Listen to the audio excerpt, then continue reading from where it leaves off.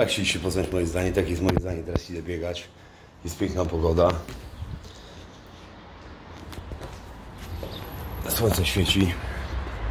Ptaki ćwierkają. Co do yy, kryminalnej Polski, całego tego programu i Piotra, też wam coś opowiem. Powiem wam to szczerze, szczerze.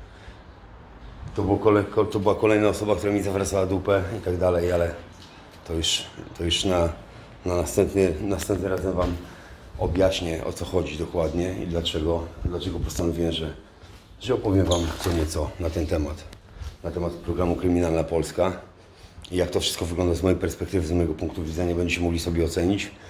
Druga sprawa, powiem Wam, jaki był największy błąd, który popełnił Bugaciak, znany gangster i dlaczego go zatrzymała policja i stało się to, co się stało, że już nigdy nie wyjdzie z więzienia. Dziękuję bardzo, serdecznie pozdrawiam wszystkich najlepszego.